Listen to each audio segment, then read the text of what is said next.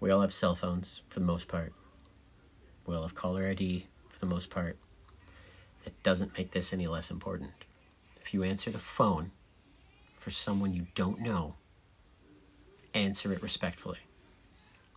Be polite, sound happy, don't sound bothered, don't swear, don't say something like, What's up?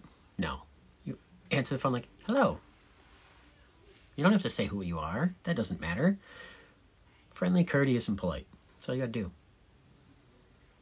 It's not hard. You could be getting a phone call from job offer or a lawyer or whatever. You don't want them to judge you right off the bat and get the wrong impression.